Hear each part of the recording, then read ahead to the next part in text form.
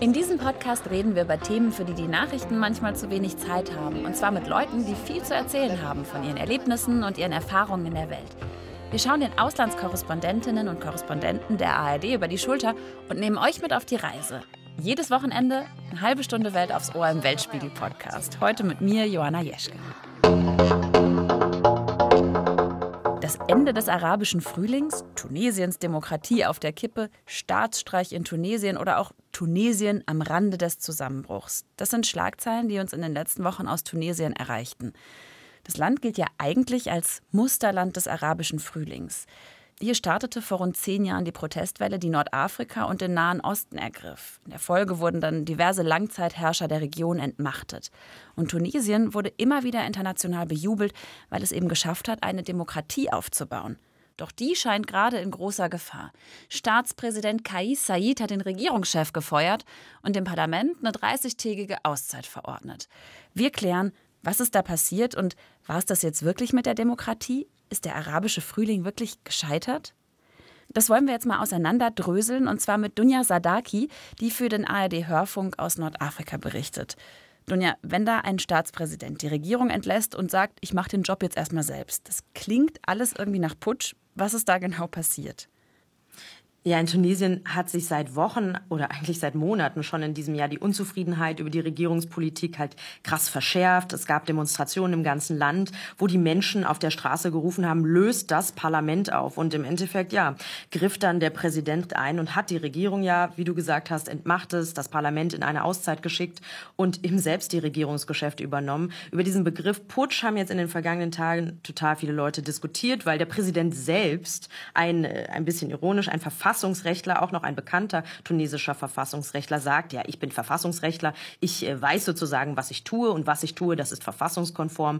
Der beruft sich da auf einen Verfassungsartikel äh, 80 in Tunesien und der besagt eben, im Krisenfall kann der Präsident politisch eingreifen. Aber, und das Aber ist, äh, glaube ich, auch entscheidend, denn er muss vorab ähm, das Verfassungsgericht, den Regierungschef und den Präsidenten des Par äh, Parlamentes konsultieren und naja, zumindest das Verfassungsgericht konnte er überhaupt nicht konsultieren. Das gibt es auch zehn Jahre nach der Revolution nämlich immer noch nicht. Das heißt, diese Dinge hat er nicht getan und deswegen sagen viele, also recht wirklich äh, rechtlich sauber, äh, hm, großes Fragezeichen und deswegen sprechen eben auch einige von einem Putsch oder von einer Machtübernahme.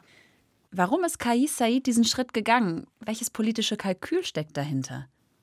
Das ist natürlich schwer zu sagen. Also er selbst präsentiert sich als sozusagen der Retter in der Not, der Mann, der die sanitäre, aber auch die politische Krise, die ja sozusagen in einer Sackgasse war, jetzt in die Hand nimmt. Aber es gibt super viele Fragen. Also 30 Tage Auszeit für ein Parlament und danach, also tritt es wirklich wieder in Kraft? Gibt es wirklich wieder einen Regierungschef? Oder gibt es Wahlen? Äh, also kommt Tunesien zu diesen demokratischen Verhältnissen irgendwie wieder zurück? Äh, also es liegt tatsächlich am Präsidenten jetzt selbst, was da passiert. Und deswegen gibt es halt super viele Leute, die das mit Sorge betrachten und sich fragen, machen wir jetzt eine Rolle rückwärts? Sind wir jetzt wieder auf dem Weg Richtung System äh, Ben Ali? Viele glauben das nicht, denn die Zustimmungswerte für Kaisai, das sieht man, die sind immer noch gut. Wie reagieren denn die Menschen vor Ort? Also ich habe sowohl äh, Bilder von jubelnden Leuten gesehen, aber ich habe auch Demos gesehen. Also wie ist da so die Meinung im Land? Ja, so die aktuellen Meinungsumfragen, äh, da geben die Befragten an zu über 80 Prozent, dass sie hinter äh, der Entscheidung oder hinter den Entscheidungen ihres Präsidenten stehen. Ähm, eine der ersten Reaktionen auf äh, Kai Saids Machtnahme war, die Menschen feierten ihren Staatschef am Abend äh, auf den Straßen mit Hubkonzerten. Aber natürlich die Nachterpartei, die unter anderem auch äh, abgesetzt wurde, die waren natürlich stinksauer. Die reden von Putsch, die reden von äh, verfassungswidrigen niedriger äh, Machtergreifung. Es kamen aber auch in den Tagen danach verhaltenere Töne, angesichts natürlich, dass es zum Beispiel eine Ausgangssperre gibt zum Beispiel. Da gibt es viele Leute, die auch gesagt haben, es gibt ein komisches Bauchgefühl, es gibt die Sorge, dass man eben wieder zu autokratischen Verhältnissen wie unter Langzeitmachthaber Ben Ali zurückkehren könnte, wenn dieser Zustand jetzt äh, so lange anhalten soll, über auch diese angekündigten 30 Tage. Andere wiederum sagen, wir befinden uns doch schon in einer Sackgasse, warten wir doch ab, vielleicht kann er uns da tatsächlich rausholen rausholen, weil viel schlimmer geht es nicht. Das äh, Parlament ist blockiert, es ist super fragmentiert, ähm, äh, wirtschaftlich hat sich nichts verbessert und jetzt auch noch diese schlimme Corona-Krise mit den vielen Toten. Mhm. Und inwiefern ist jetzt die Corona-Lage denn mitverantwortlich oder sogar verantwortlich für diese politische Krise, die Tunesien gerade erlebt? Also ich sag mal so, die politische Krise, die hat Tunesien einfach schon lange. Also äh, neun Regierungschefs wurden seit der Revolution ausgetauscht. Das Parlament ist, äh, ich war ja bei den Präsidentschaftswahlen 2019 da, kurz vorher waren Parlamentswahlen. Das Parlament ist total zersplittert, findet keine Mehrheiten, findet keine Einigung und kann deswegen ganz wichtige Sachen einfach nicht entscheiden. Aber natürlich gerade auch in einer Pandemie müssen ganz wichtige Dinge entschieden werden. Und genau da sagen halt viele, die politische Krise, die wir vorher schon hatten, die rächt sich halt extrem in der Corona-Krise.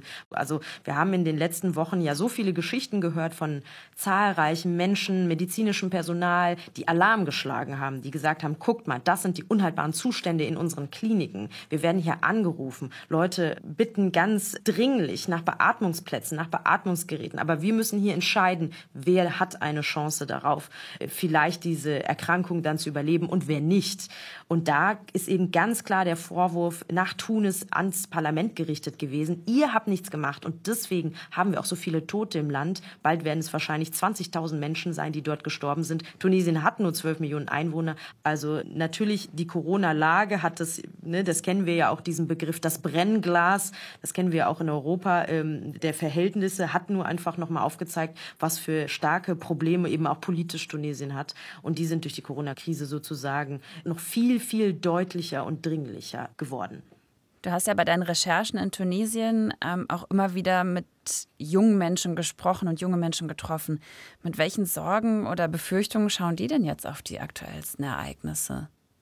Ja, die Leute sind natürlich gefrustet. Also als ich äh, vor der Pandemie in Tunesien war, dann kommt man ja immerhin als europäische Journalistin und sagt, ah, der Leuchtturm äh, des sogenannten arabischen Frühlings und jetzt habt ihr Meinungsfreiheit und so weiter und so fort. Und die Leute können das halt nicht mehr hören, denen hängt das zu den Ohren raus, die, die sagen, was haben wir denn jetzt? Also wir haben immer noch eine hohe Arbeitslosigkeit, gerade unter jungen Menschen.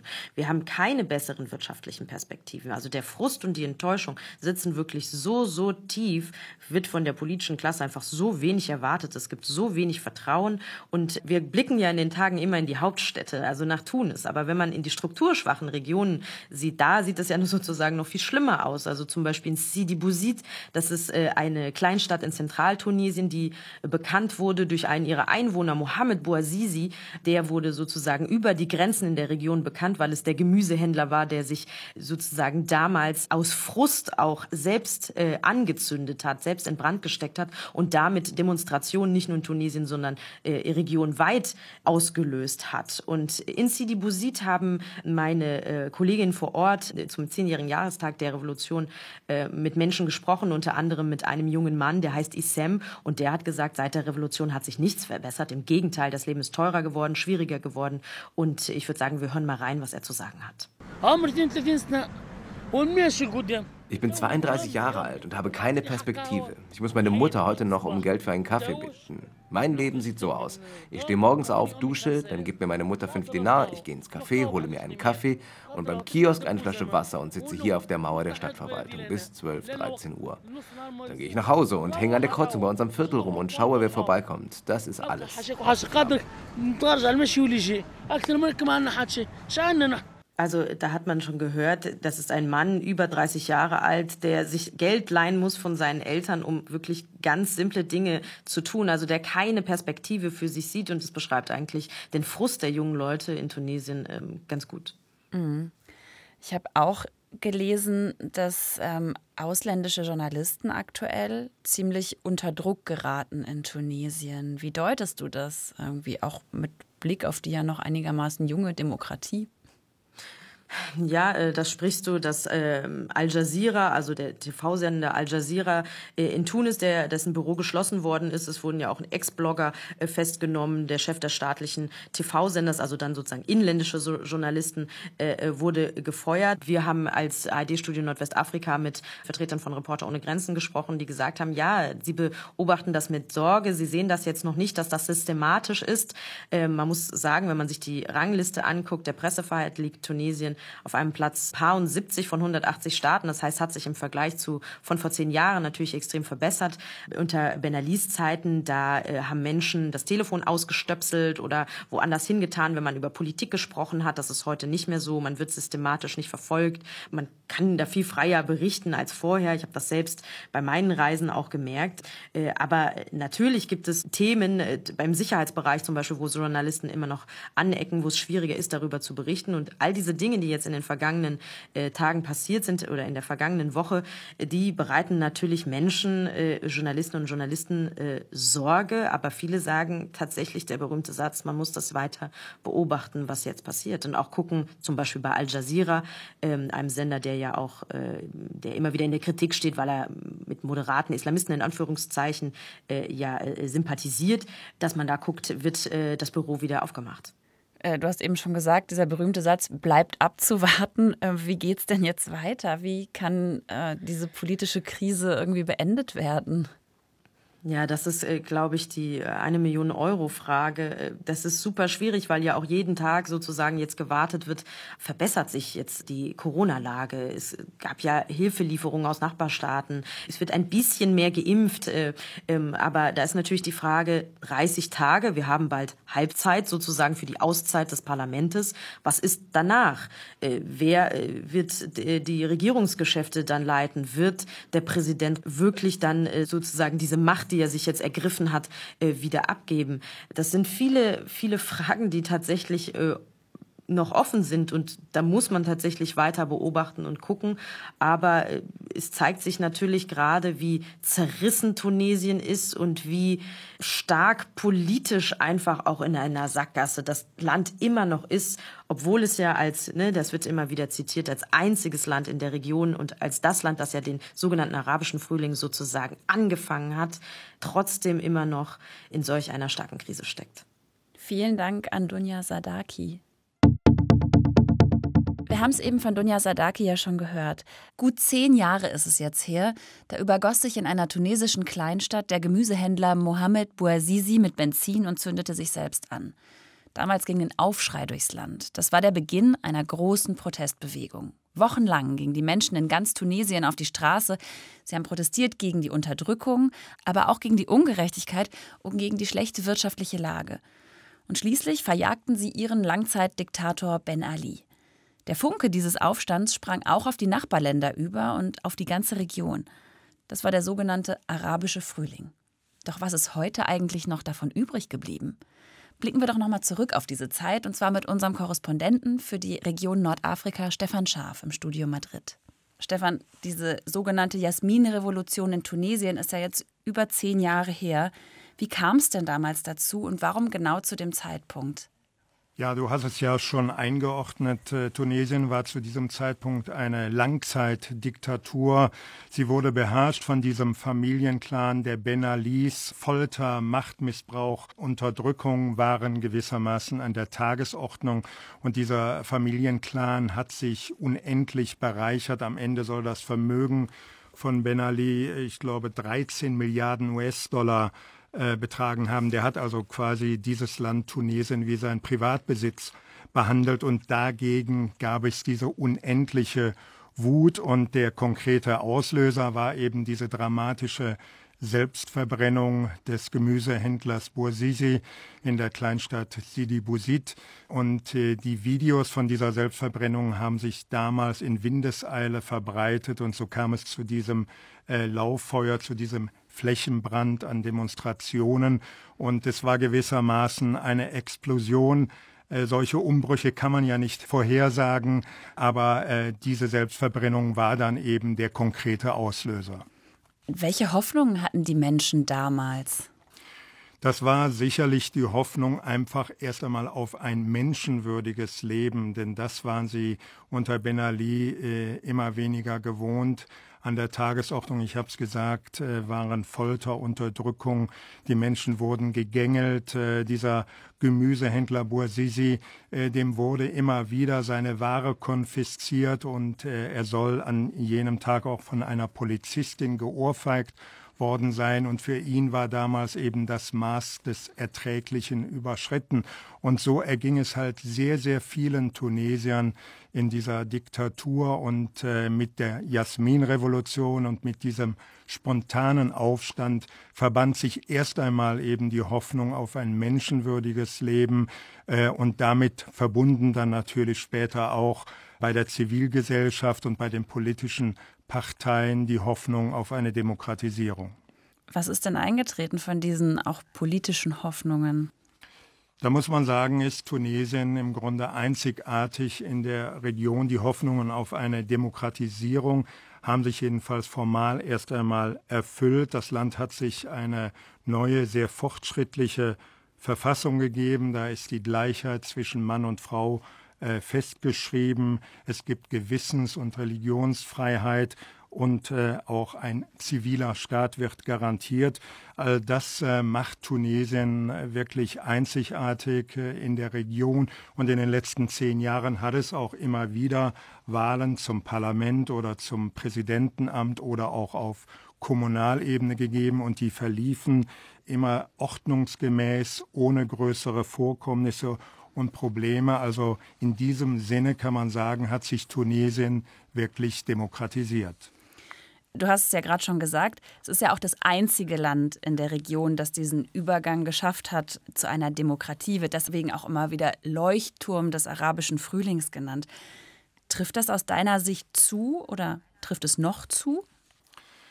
Man muss da natürlich äh, immer wieder das Formale sehen. Also wir haben in Tunesien bislang äh, eine Demokratie, das stimmt aber die Hoffnungen auf ein besseres Leben, auf ein menschenwürdigeres Leben, die haben sich halt für viele Tunesier eben nicht erfüllt. Gewissermaßen die Revolutionsdividende, die ist nicht ausgezahlt worden. Äh, manche Leute in Tunesien sagen, äh, Demokratie oder Freiheit macht nicht satt. Äh, und das bringt es wohl auf den Punkt. Die wirtschaftliche Lage hat sich in Tunesien in den letzten zehn Jahren eigentlich immer nur verschlechtert. Gleichzeitig ist der Beamtenapparat immer mehr aufgebläht worden. Das kann der Staat eigentlich kaum noch finanzieren. Und äh, manche Beobachter sprechen im Grunde davon, dass äh, Tunesien kurz vor einem Staatsbankrott steht. Und äh, man konnte und kann im Grunde gewissermaßen die Uhr danach stellen. Immer zu Jahresbeginn werden die Preise erhöht und dann gibt es auch immer wieder Ausschreitungen, Demonstrationen in Tunesien. Das zieht sich wie ein roter Faden durch die letzten zehn Jahre. Und das ist eben Ausdruck dieser Frustration und auch der Verzweiflung vieler Tunesier. Und mir ist immer wieder bei unseren Dreharbeiten äh, zum Schluss in den letzten Jahren gesagt worden, unter Ben Ali ging es uns besser. Und das ist natürlich eine sehr deprimierende Bilanz. Ich wollte gerade fragen, du bist ja in den letzten zehn Jahren immer wieder vor Ort gewesen. Was ist dir denn aufgefallen an Veränderungen oder besonders aufgefallen an Veränderungen im positiven wie im negativen? Positiv, das muss man immer wieder sagen, ist einfach und sehr beeindruckend ist die starke Zivilgesellschaft Tunesiens äh, und da auch an allererster Stelle viele Frauen äh, bestimmen diese Zivilgesellschaft. Das ist eine sehr starke äh, Zivilgesellschaft, sehr starke Gruppierungen.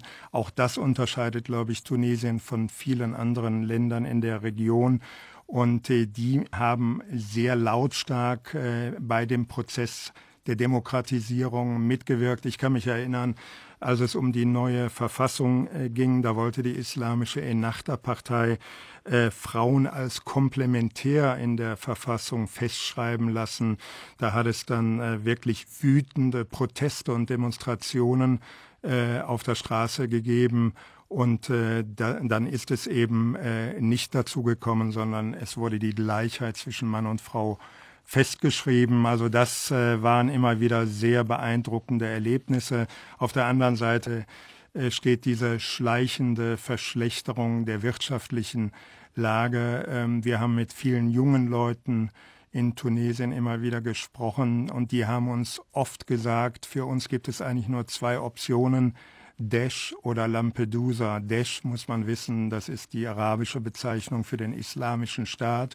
Und viele junge Tunesier haben leider in den ersten Jahren nach der Revolution ihr Heil eben in dieser Gruppierung gesucht und sind nach äh, Syrien gegangen oder auch nach Libyen oder eben Lampedusa. Und das äh, drückt natürlich die Hoffnung auf ein besseres Leben in Europa aus. Und äh, das äh, zieht sich eben wie ein roter Faden durch die letzten zehn Jahre. Und es nimmt leider auch wieder zu. Gerade die äh, Migrationsbewegung im letzten Jahr sind äh, 13.000 Tunesier übers Mittelmeer nach Italien gekommen. Und äh, ich befürchte, diese äh, Bewegung wird sich noch in diesem Jahr weiter verstärken weil sie in ihrem Land einfach keine Perspektiven sehen und die Corona-Pandemie äh, war da natürlich noch einmal verheerend.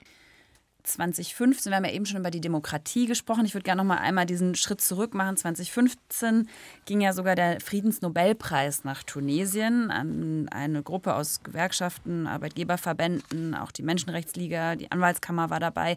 Und in der Begründung des Nobelkomitees hieß es damals, der Preis werde vergeben für die Bemühungen um eine pluralistische Demokratie im Zuge des arabischen Frühlings. Was heißt denn das jetzt konkret für so eine Demokratie, wenn jetzt erstmal das Parlament für 30 Tage entmachtet wurde?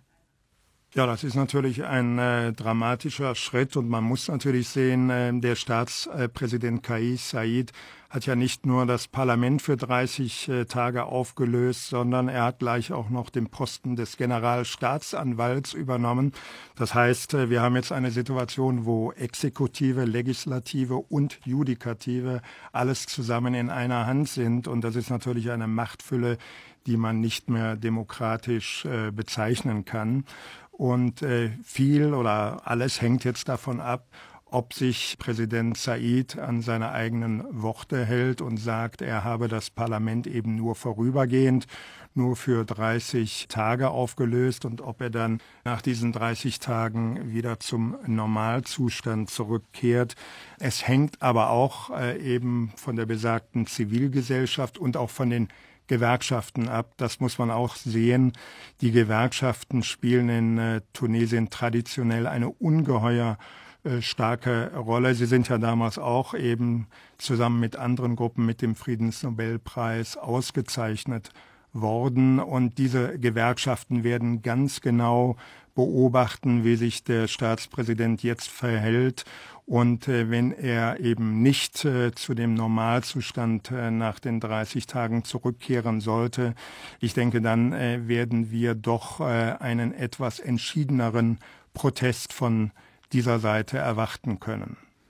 Ist aus deiner Sicht der arabische Frühling in Tunesien gescheitert?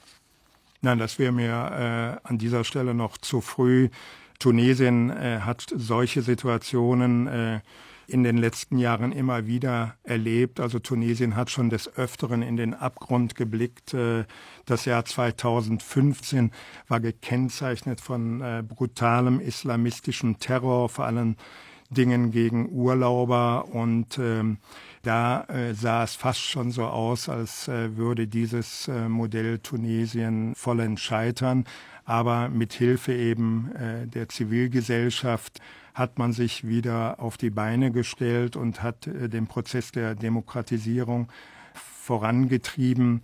Tunesien befindet sich jetzt in einer äußerst kritischen Situation, aber ich glaube, man muss natürlich auch sehen, solche Umbrüche wie eine Jasmin-Revolution, äh, die werden nicht innerhalb weniger Jahre bewältigt. Ich glaube, das ist eine Generationenfrage und da müssen wir uns alle, glaube ich, mehr Zeit geben, um so etwas dann endgültig beurteilen zu können. Vielen Dank nach Madrid an unseren Korrespondenten für die Region, Stefan Scharf.